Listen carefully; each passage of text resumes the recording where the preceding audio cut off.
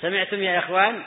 اتصل أحد الناس على عبد الحق ويقول له دماج ما فيها إلا كم؟ درس واحد وخمسة جزائريون.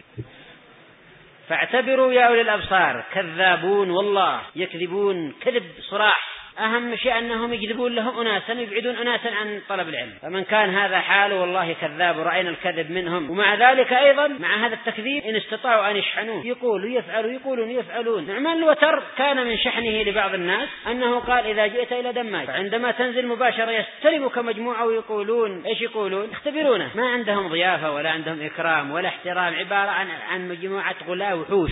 من نزل استلموه هناك في الحدبة هذا يبطشه هذا يبطشه.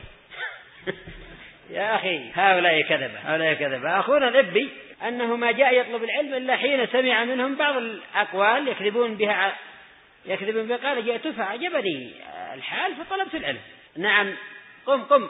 هذا يتكلم في العلماء. واحد آخر نظير هذا. قال وين يعني يقولون الحجوري إذا مر؟ يعني في طريقه إلى إلى الدرس يضبط هذا ويركض أعوذ بالله أعوذ بالله. لا إله إلا الله يا أخوان. شوف على مستوى بلغوا به من الإحنطاط والتنفير. قلة ورع وقلة خوف. قدر الله أنني مررت من جانبه ووقفت حتى جنب ومشيت. نظر هذا ما زبطني. والله هكذا يخبرون الإخوان. وبعد ذلك سمع الكلام كلاما إن شاء الله نافعا وبقي ستة أشهر يطلب العلم ما رجع من تلك من ذلك المجيء. ذهبنا دعوة إلى عدن وتحدثنا ومن ضمن الحديث جاء ما يستدعي الضحك. ضحكنا على بعض المسائل في أثناء الحديث. قالوا الحجوري يضحك يا سبحان الله.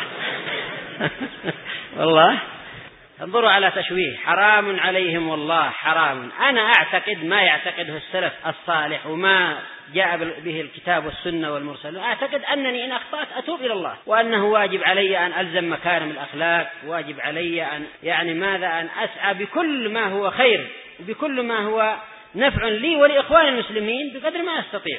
ولكن يا إخوان ما يتحاشون الكذب. هذه نماذج من الكذب.